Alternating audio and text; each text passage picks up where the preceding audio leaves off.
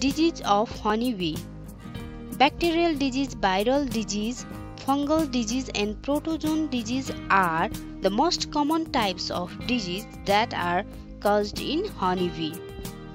Bacterial disease American foul brood disease American foul brood is an infectious brood disease which is caused by bacteria that is Paenibacillus larvae. American foul brood is most destructive of the brood and affecting all the members of the hive. When nurse bee feeds the larvae, she transfers the disease into the hive by rubbing her body or also by swarm. This disease occur in two forms that is vegetative and spore form.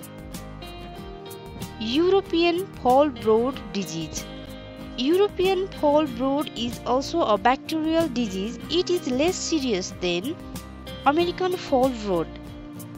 The pathogenic bacterium of European foul brood is Melissococcus plutonius, which invades the midgut of 4 to 5 days old larvae and multiplies rapidly, causing death of larvae.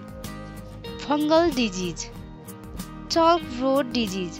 It is a fungal disease that is caused by a Ascosphaera apis fungus. It affects only the brood.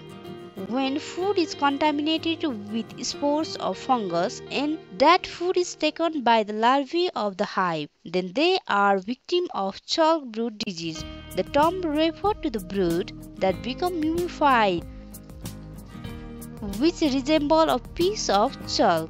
Viral disease, sac brood disease.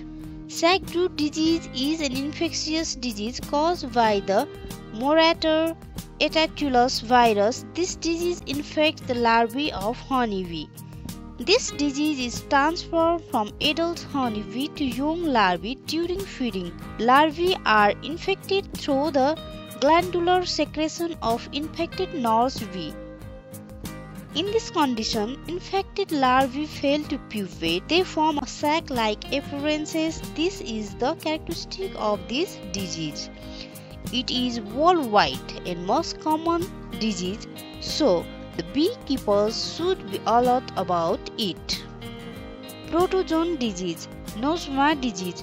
Nosema disease is generally caused by Nosema apis. This is the most destructive disease of adult bee the parasite affect the digestive system of honeybee, weakening them and cause an early death. Okay, thank you.